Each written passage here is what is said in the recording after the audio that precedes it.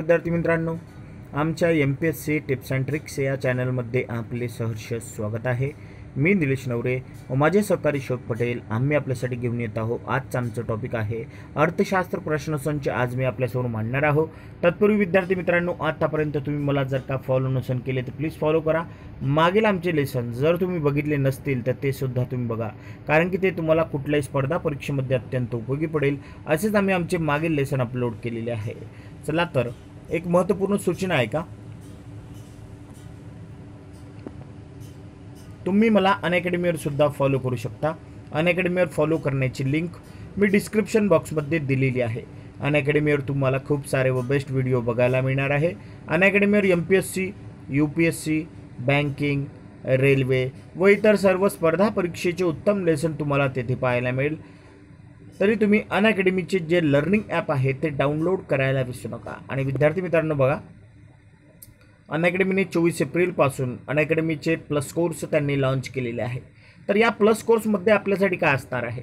तर तुम्हाला तुमच्या मोबाईलवर किंवा लॅपटॉपवर तुम्हाला लाईव्ह क्लासेस पाहायला मिळणार आहे सोबतच तुम्हाला नोटसुद्धा उपलब्ध करून दिली जात आहे याशिवाय तीन क्लासनंतर एक डाऊट क्लिअरिंग सेशनसुद्धा त्यामध्ये असणार आहे. त्याचबरोबर क्लासनंतर ऑफलाईन रेकॉर्डिंगसुद्धा तुम्हाला मिळणार आहे. प्रॅक्टिस टेस्ट प्रश्नमंजुषासुद्धा तुम्हाला पाहायला मिळेल. दर महिन्याला नवीन नवीन कोर्सेससुद्धा तिथे अपलोड केले जात आहेत. तरी विद्यार्थी मित्रांनो दर महिन्याला नवीन कोर्स तिथे अपलोड केले जात जात आहे तरी तिथे अनअकॅडमीचा सबस्क्रिप्शन घेण्यासाठी तुम्ही विसरू नका. आमचा रेफरल कोड लक्षात असू दे. M P S C tips and trick हा रेफरल कोड जर का तुम्ही तिथे वापरला तर दहा पर्सेंट डिस्काउंटसुद्धा तिथे तुम्हाला मिळणार आहे. चला तर आजचा जो प्रश्न उत्तराचा संच जो आलेला आहे तो बघूया. पहा पहिला प्रश्न.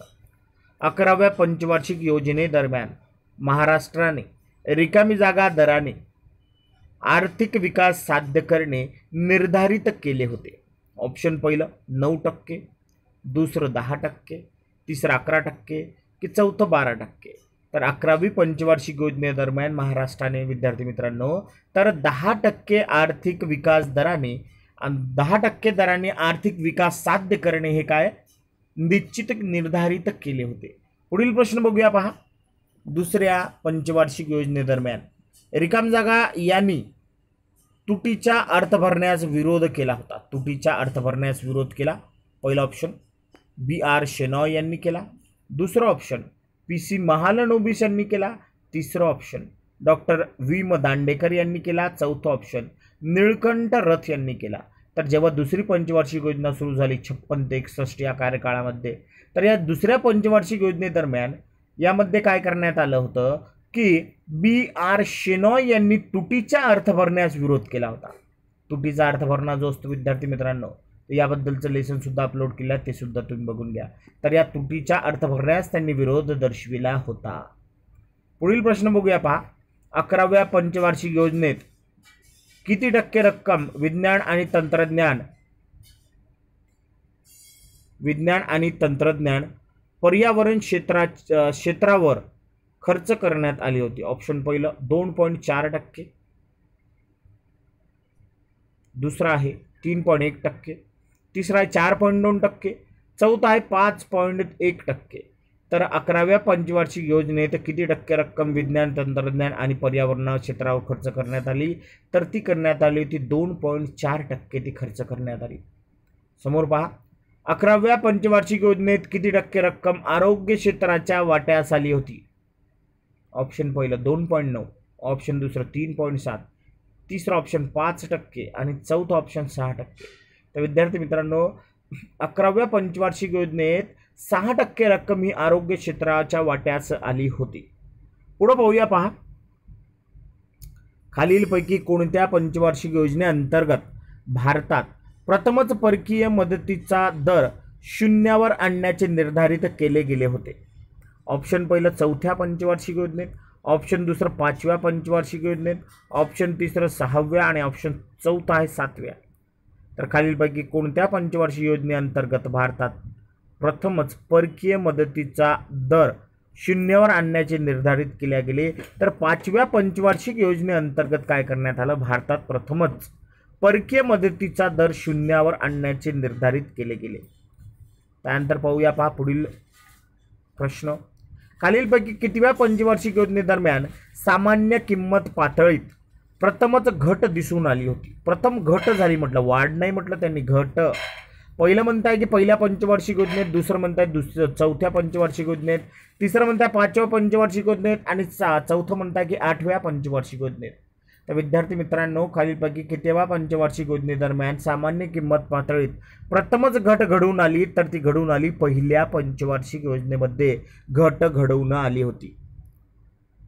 समोर पाहूया.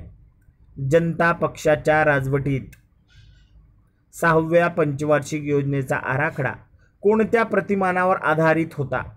पहिलं मधु दंडवते दुसरं बॅरिस्टर नाथ पै तिसरा आहे प्राध्यापक लकडवाला आणि चौथा एम नरसिंहम.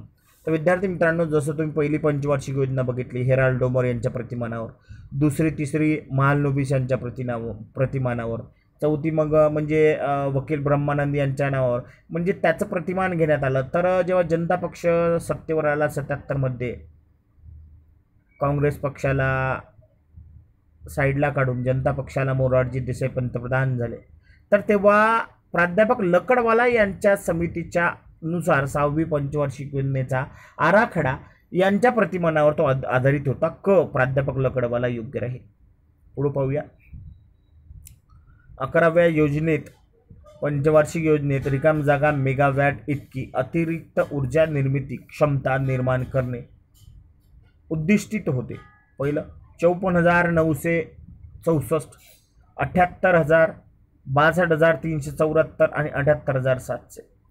तर अकराव्या पंचवार्षिक योजनेत विद्यार्थी मित्रांनो अठ्ठ्याहत्तर हजार मेगावॅट इतकी अतिरिक्त ऊर्जा निर्मिती क्षमता निर्माण करणे उद्दिष्टित ठेवण्यात आले होते. उद्दिष्ट ठेवण्यात आले होते.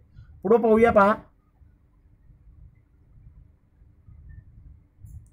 अकराव्या पंचवार्षिक योजनेअंतर्गत रिकाम जागा मेगावॅट इतकी अणुऊर्जा निर्मिती साध्य करणे उद्दिष्टित होते. पहिलं ऑप्शन तीन पॉईंट तीनशे अंश सॉरी तीन हजार तीनशे ऐंशी. दुसरा आहे चार हजार चारशे नव्वद तिसरा आहे पाच हजार सहाशे ऐंशी. चौथा आहे सहा हजार पाचशे सत्तर. तर विद्यार्थी मित्रांनो अकराव्या पंचवार्षिक योजनेअंतर्गत मेगावॅट इतकी अणुऊर्जा साध्य करणे उद्दिष्टित होते. तर ते होते पाच हजार सहाशे ऐंशी मेगावॅट इतकी अणुऊर्जा साध्य करणे उद्दिष्टित होते. दुसरं पाहूया पहा. कोणत्या पंतप्रधानाच्या कालावधीत राष्ट्रीय नियोजन परिषद स्थापन करून नवा प्रयोग केला गेला. पहिले इंदिरा गांधी दुसरा आहे मोरारजी देसाई तिसरा आहे लाल बहादूर शास्त्री आणि चौथा ऑप्शन आहे राजीव गांधी. तर यामध्ये जर का पाहिलं तर लालबहादूर लाल बहादूर शास्त्री बासष्ट ते सहासष्ट त्यांचा कार्यकाळ आहे. तर तेव्हा विद्यार्थी मित्रांनो त्यांच्याच कालखंडामध्ये राष्ट्रीय नियोजन परिषद ही स्थापन करून नवा प्रयोग केला गेला होता. तीन नंबरचं उत्तर योग्य राहील. समोर पाहूया पहा. कोणत्या मंजुरीनंतर किंवा कोणाच्या मंजुरीनंतर पंचवार्षिक योजनेस सरकारी योजनेचं स्वरूप प्राप्त होते? पहिलं राष्ट्रपतीच्या दुसरा आहे नियोजन आयोगाच्या तिसरा आहे राष्ट्रीय विकास परिषदेच्या की चौथा आहे भारतीय संसद यांच्या? तर विद्यार्थी मित्रांनो कोणाच्या मंजुरीनंतर परि पंचवार्षिक योजनेस सरकारी नोकरीचे स्वरूप प्राप्त होते? तर ते होते भारतीय संसद यांच्या. पुढं पाहूया पहा.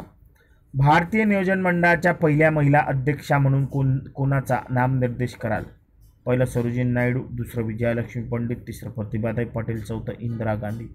तर विद्यार्थी मित्रांनो नियोजन आयोगाच्या पहिल्या महिला अध्यक्षा तर इंदिरा गांधीच असेल. कारण की पंतप्रधानच हे नियोजन आयोगाचे अध्यक्ष असते आणि जेव्हा पंतप्रधान इंदिरा गांधी जेव्हा झाली सहासष्टपासून तर ते नियोजन आयोगाच्या पहिल्याच महिला अध्यक्ष ठरल्या होत्या. पुढं पाहूया पहा. भारतातील दारिद्र्य संकल्पनेचा विकास उष्मांकाशी संबंध कोणी जोडला आहे? पहिलं पी. के. बर्मन तिसरं डॉक्टर मॉन्टेक्सिंग अहुवालिया तिसरा आहे दांडेकर व रथ समिती आणि चौथा आहे बी. एस. मिन्नास. तर विद्यार्थी मित्रांनो याचं योग्य उत्तर राहील की दांडेकर व रथ समिती भारतातील दारिद्र्य कल्पनेचा विकास उष्मांकाशी संबंधित आहे. पुढं पाहूया पहा पुढील प्रश्न आपल्यासमोर होता योग्य विधानी निवडा पर्याय निवडा. पहिलं म्हणताय की परकीय म्हणजेच प्रश्न आहे की परकीय भांडवलाचे प्रकारात कोणकोणत्या गोष्टीचा समावेश होतो? परकीय भांडवलाच्या प्रकारात. पहिलं प्रत्यक्ष विदेशी गुंतवणूक. दुसरं विदेशी संयुक्त गुंतवणूक. तिसरं आंतरराष्ट्रीय किंवा आंतरसरकारी कर्ज. चौथा आहे आंतरराष्ट्रीय संस्थांकडील कर्ज. पाचवा आहे बहिर्गत व्यापारी कर्ज. तर विद्यार्थी मित्रांनो पहिलं म्हणते वरीलपैकी सर्व दुसरं म्हणते वरीलपैकी कोणतेही नाही तिसरं म्हणते अ ब आणि क चौथं म्हणता ड आणि ई तर विद्यार्थी मित्रांनो वरीलपैकी सर्वच्या सर्व इथे काय राहणार आहे? योग्य राहणार आहे. चला तर विद्यार्थी मित्रांनो आजचा आमचा अर्थशास्त्र प्रश्नसंच जर का तुम्हाला आवडला असेल तर जास्तीत जास्त सबस्क्राईब करा लाईक करा कमेंट करा आणि शेअर करा. धन्यवाद.